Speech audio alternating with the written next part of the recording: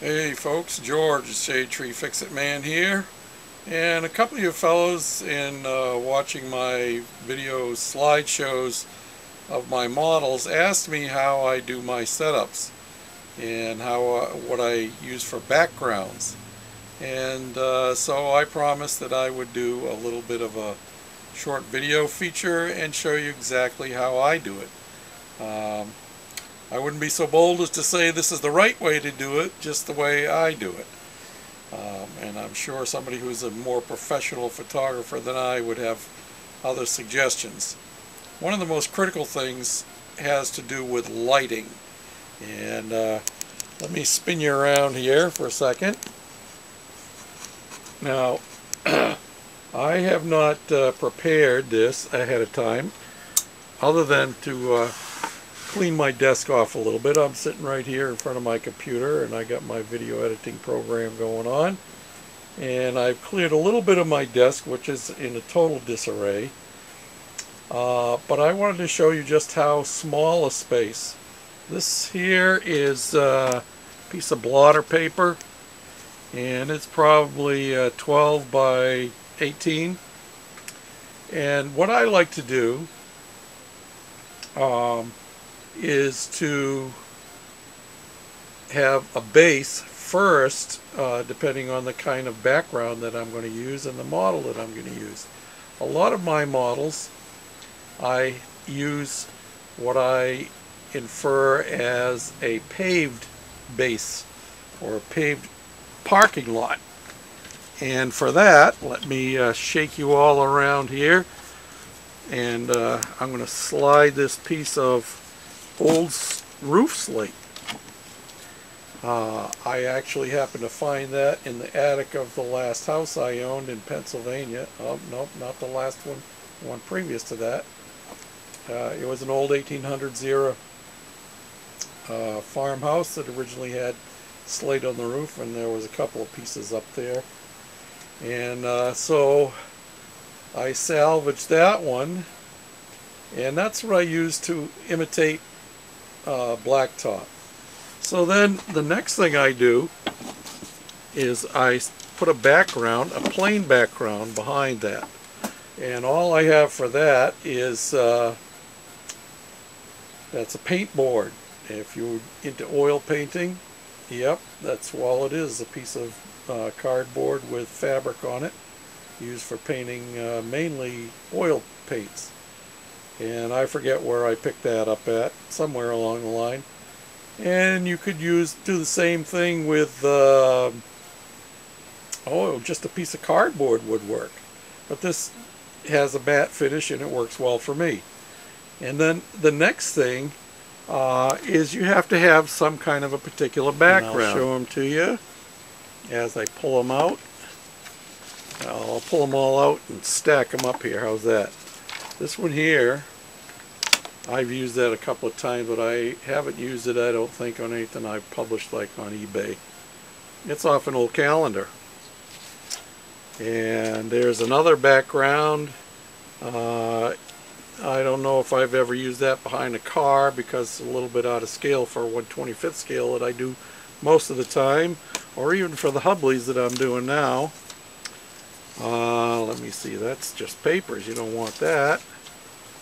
This here, these next two photos are pictures that I actually took back in Pennsylvania of an abandoned garage. Now depending on the size of the model, depends on how much of a blow up I need. That one there is done on a matte finish and it's actually glued onto a piece of cardboard to make it stiff so it stands up by itself. Then I have a bigger one, same garage, and uh, let me see, I'm trying to see, you can't see it in that one. One of the times, ah, yeah, look at this one here. This one here you can actually see a for sale sign. I went to this garage a couple of times to take pictures. And uh, I don't know if the garage has ever been sold yet or not. It did have the old gas pumps out front from the 70s and 80s.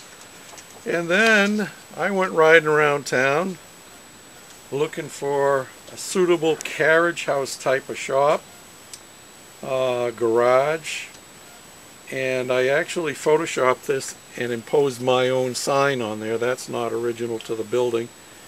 And uh, that one has a lot of shade to it. This one is the same one, a little bit different angle. Come on, stay up there. And uh, sometimes you have to clip them up in place.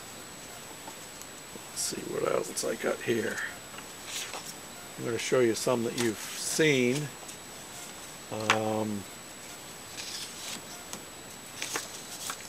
well, here's my actual final copy of that one that I use most of the time. And this one is mounted on a piece of self-adhesive floor tile. Stuck the picture right to the bottom of the tile. And then the one that we're going to use the most in this particular video is this photograph here. Not sure where I got it from, but this is of Bonneville Salt Flats. And you notice this is all the salt down here. And the picture was actually like this. But I don't want you to see the transition between the salt uh, in the background and the salt underneath the model. So in this case, I take take my uh, tar, my slate bottom, and I take that right out of the way and then I take a model and set it up there. Let me see, I haven't got anything right away. Here, how's that? Now, I could come down in here and slide down in like this and uh, I could take pictures and get rid of that blend line um, with a piece of paper. And let me show you how I do that. Hold on a second here.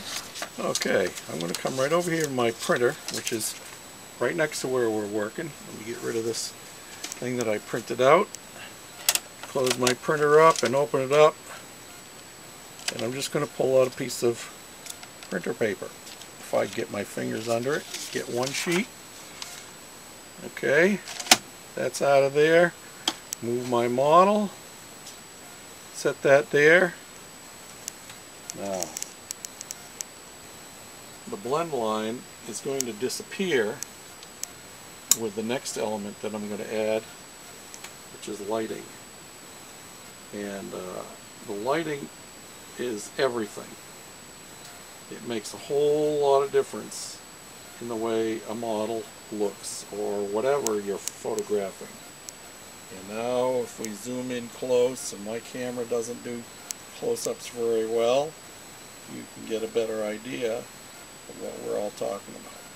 So, having done that, I'm going to illustrate the process with some photos of a model that I recently uh, put up on YouTube. This uh, Lincoln Packard rat rod and uh, I'm going to show you how I did those in particular. That model no longer exists in my household. I sold it on eBay and it's long since been gone. So hold on your hats, here we go.